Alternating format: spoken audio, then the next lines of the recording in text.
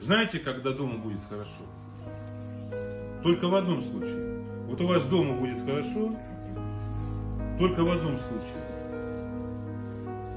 Если вы будете хорошими, вы, вы и только вы. Ни мама, ни бабушка, ни муж, ни, ни жена, ни теща, ни зять. Вот вы. С кого мы можем спросить, только с нас. Кого мы можем исправить? Только себя, больше никого. Как Паисий говорит, вот вы церковь ругаете. Вы церковь ругаете.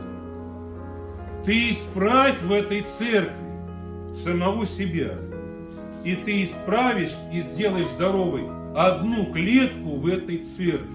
И уже будет хорошо. Да нет, пусть вот там пятый. Нет, ты вот себя исправь. И в семье. Вот все такие, все такие, да, посуду не моют. Нет, ну ты и мой. Все не убирают? Нет, не убирают. А ты знаешь, что надо? Да, ну ты убирай. Они сто раз посмотрят, что бабушка это делает все. Ну потом стыдно будет. Когда? Ну перед пенсией стыдно станет. Ну как, как, когда-нибудь стыдно станет, и потом посмотрят, ну как-то. Поэтому ори, не ори, ничего это не даст.